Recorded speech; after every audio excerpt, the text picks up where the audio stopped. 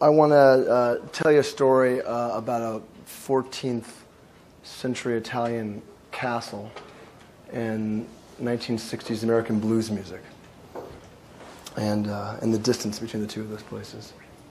I, I make my living helping people tell stories online. It's a little bit of an extension on Linda's story.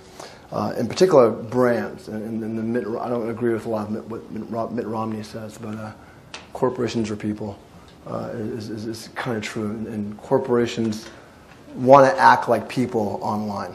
They, they want to be followed and retweeted and, and liked and, and repinned uh, in this new social media world that we're in. And so when I do my job well, I create content uh, that helps brands have conversations with customers, uh, new customers, existing customers. And when I do my job really well, uh, this content, videos, witty pieces of editorial, infographics, uh, they, they travel around all different kinds of communities. And, uh, and that's like the holy grail in this world. There's a, there's a name for this profession now called content marketing. It's one of a bunch of buzzwords that are going on right now brand newsrooms and real time marketing. And, um, and the holy grail in this space is you want your stuff to go viral. I was having a conversation with someone earlier. How do I get my stuff to go viral?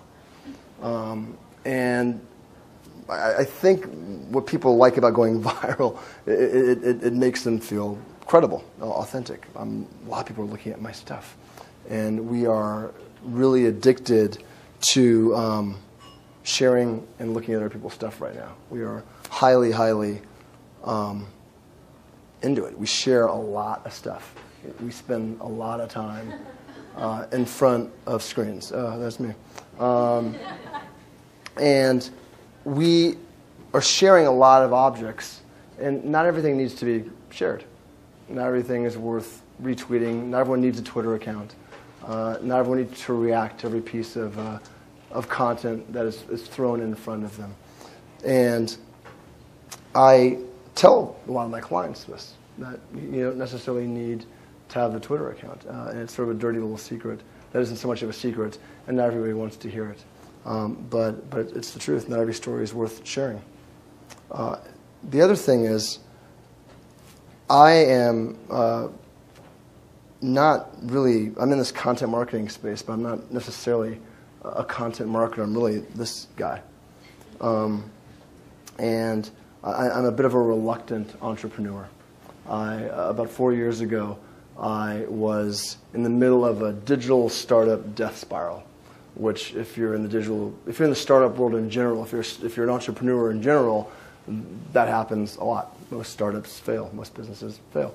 Uh, but for me, I left the relative uh, safety and security and predictability of uh, the music business to, to um, to, to go into an entrepreneurial venture. Uh, I started like one foot in and one foot out. It was someone else's money and someone else's uh, skin in the game. But it allowed me to sort of feel what this space might be like. And after a few months, it was going under.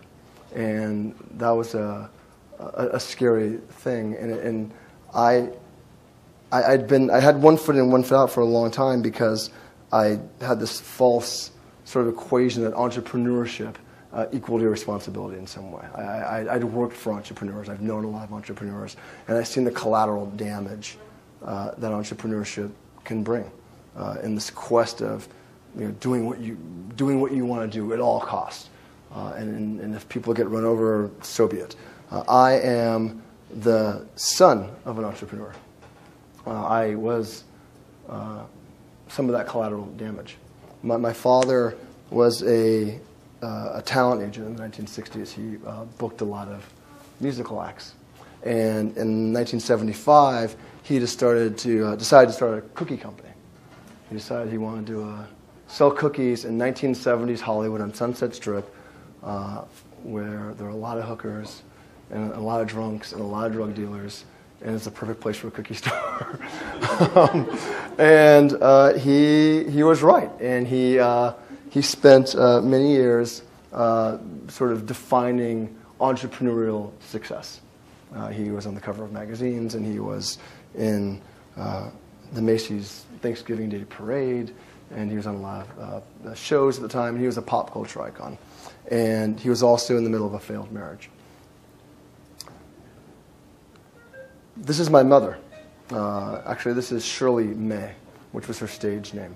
Uh, and while my father was a talent agent in the 60s, she was a nightclub singer. She sang around here in New York. She sang at a club in Atlantic City called Club Harlem, where uh, after they would uh, bang on the tables with little sticks to, to, instead of applauding.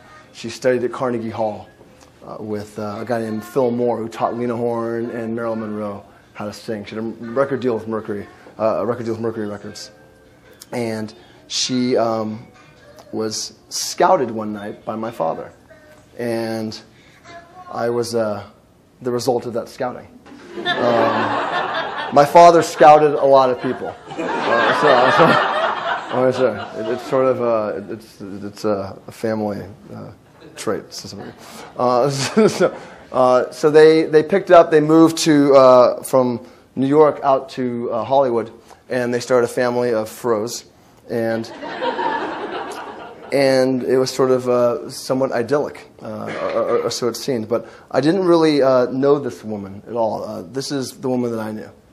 Um, my mother uh, developed mental illness way before I was born, and what my father thought was sort of wacky behavior was actually the beginnings of what's called schizoaffective disorder. Um, and she was full blown by the time I was born, uh, and it took her life. She took her own life in 2003. she was spent his entire life being mismedicated, undermedicated, overmedicated, misdiagnosed, uh, surrounded by people, including myself, who um, loved her, but uh, like a lot of mental illness, uh, spent a lot of time ignoring the depths of her problem. Uh, and she uh, died alone. And the thing was, you know, the thing is with, with mental illness, as tragic as it is, the mentally ill are really good storytellers like really great storytellers that tell a lot of wacky stories. Um, and it takes uh, a lot of um, mental acuity to figure out, you know, the reality from the fantasy in these stories. But they're they're wonderful and they're fanciful uh, in, in, in, certain instances. She died um, while I was on my way to Raleigh, North Carolina, to get conservatorship over her, to get her committed, basically. And on the way to the airport, I got the news that she killed herself. She killed herself thinking that someone had killed me. Uh, and when I got to her apartment, she'd written on the mirror, uh, "They killed Shawn." It's sort of this uh, this uh, you know clue to mystery detectives of this mystery uh, in her mind. And so, I am uh, you know the son of an errant cookie man and, and a mentally ill nightclub singer, which maybe should have been the lead of the of, of the story.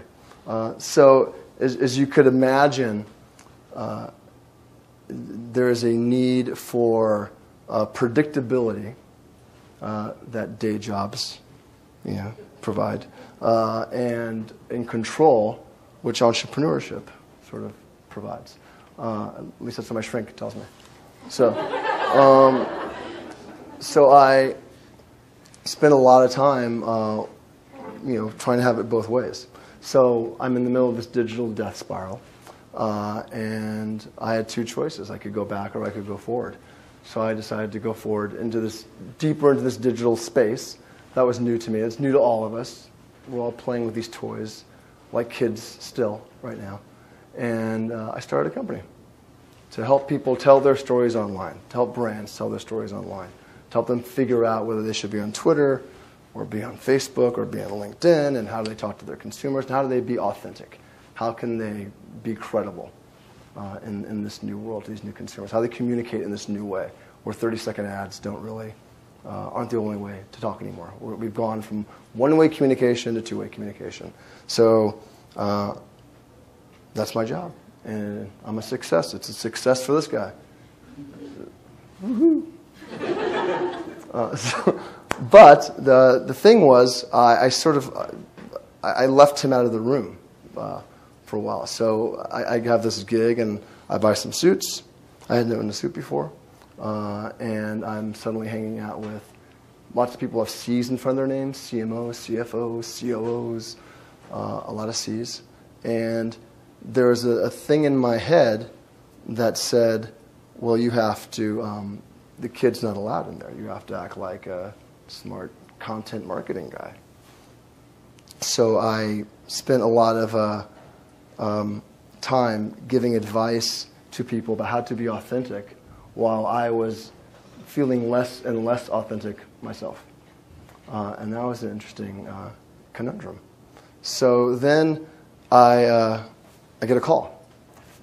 I get a call to go to Italy. And the call's from a buddy of mine who I used to play in a band with. Um, so back in my, my, my music days, my, my, uh, my less than stable, lovely music days. And he uh, still plays music, but he's also gotten into the wine business. And he uh, knows a lot of people who drink a lot of fine wine uh, in Italy. And uh, one of them owns a castle, because why not? um, so, and he likes the blues. So this guy owns a castle, wants to hear some blues, and he asked my friend, "Can you find me a blues band?" He's, "I'll put a blues band together." So he says, "Shawn, put some songs together, come over and uh, and sing the blues." So my kid answered the call, and I uh, I went with my wife.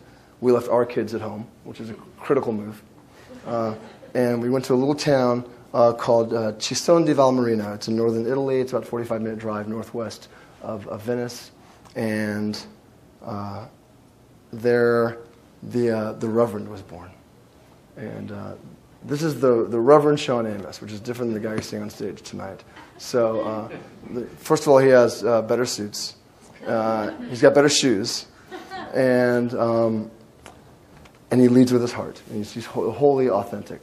Um, so we were um, playing one night, it's April 6th, 2013, playing a Johnny Guitar Watson song. Johnny Guitar Watson uh, actually died on stage playing the blues. So uh, one blues man dies, another one is born.